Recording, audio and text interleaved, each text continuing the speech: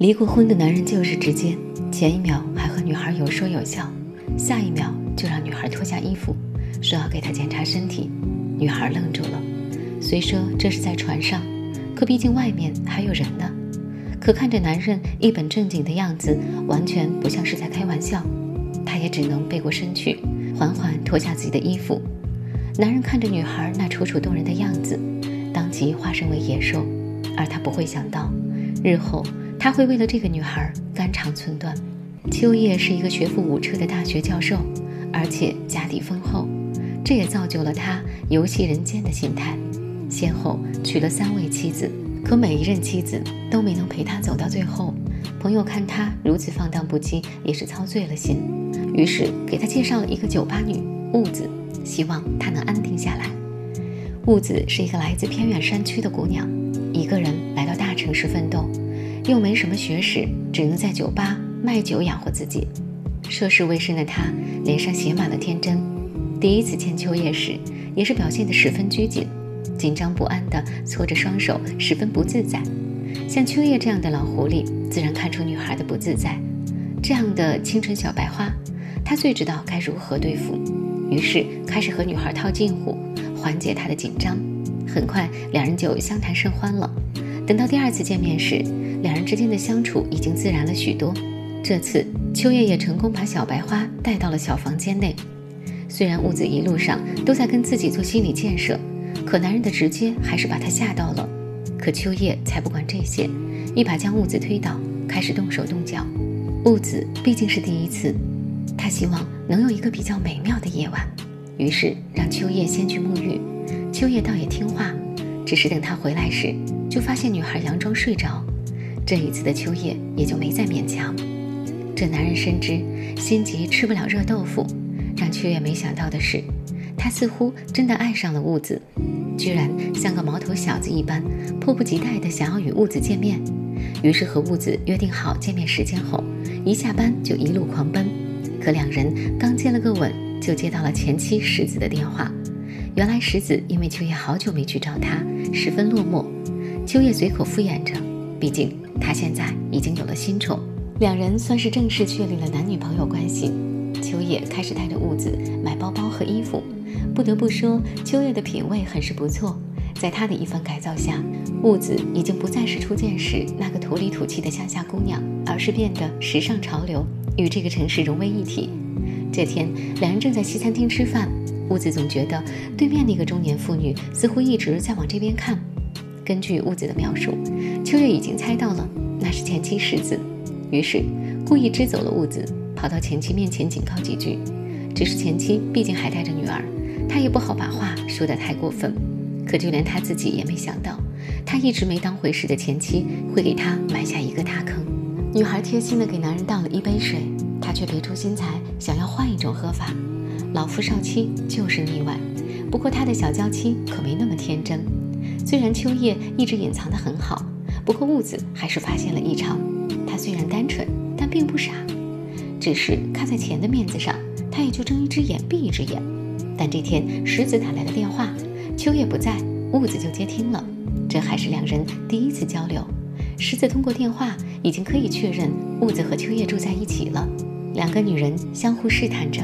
石子虽然在电话里并没有表现出什么，但放下电话后，失落之情溢于言表，甚至一下子瘫倒在地上。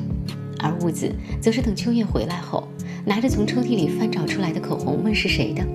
秋叶打着哈哈糊弄过去，但雾子的心里又何尝不明白？只是秋叶出手大方，而他也的确需要这张长期饭票。也就没那么较真了。在秋叶的调教下，雾子不止在穿着打扮上提高了一个档次，就连烹饪手艺也增进了不少，完全就是个完美人妻。朋友看着秋叶和屋子恩爱的样子，顿时觉得自己介绍对了。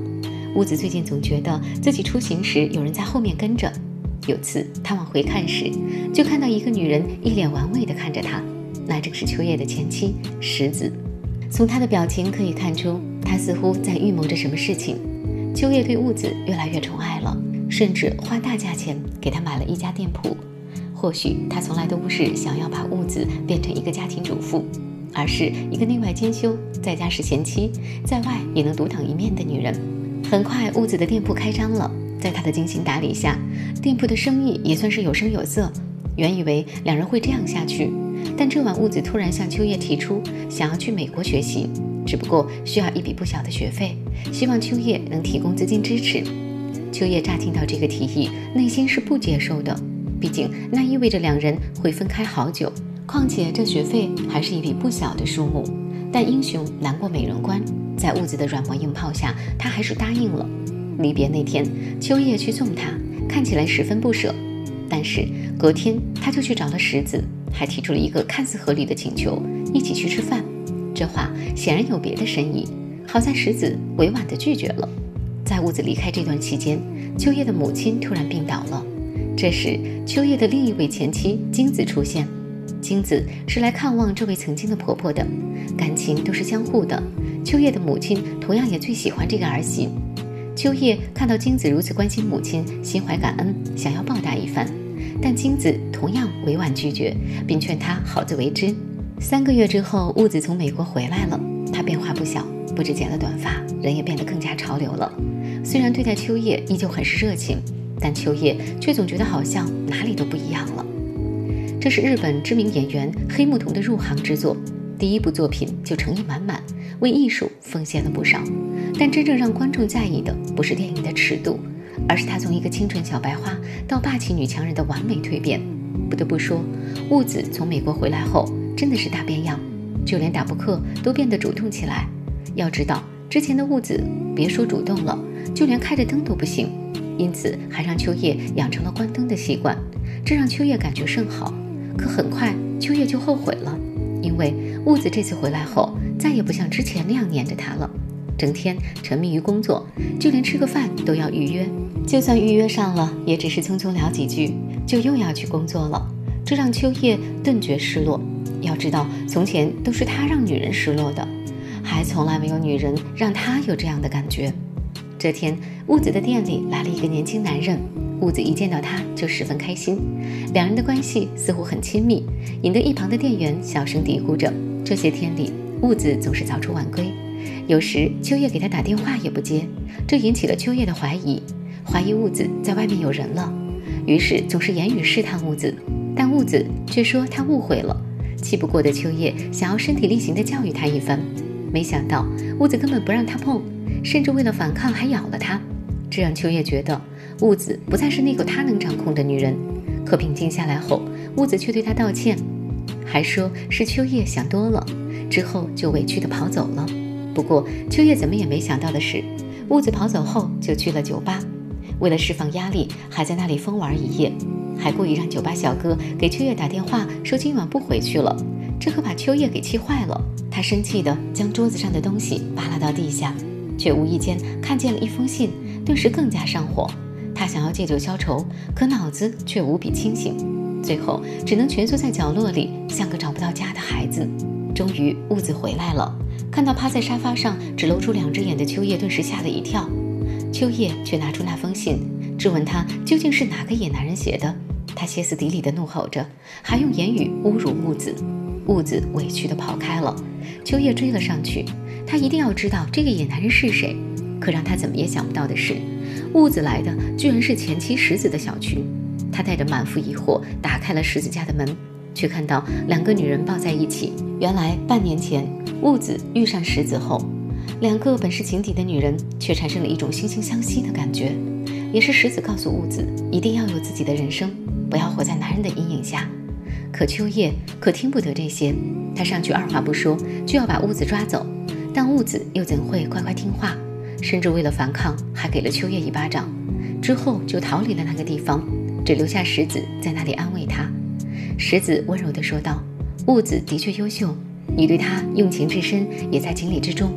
只是现在的雾子已经不再是你能掌控的女人。”屋漏偏逢连夜雨，就在秋叶一团乱麻的时候，他的母亲去世了，而自始至终陪在身边照顾母亲的只有前前妻金子。虽然最后物子也来了，但他的目的却是彻底和秋叶分手。他告诉秋叶，自己曾经真的爱过他，但是石子告诉他，人生还有很多种选择，所以才会努力提升自己。但是秋叶却误会了他。如今事情已成定局，秋叶也不再执着。他知道，就算把物子强留在身边，也没了意思，只能放物子走。而物质则会在追求自我的道路上闪闪发光。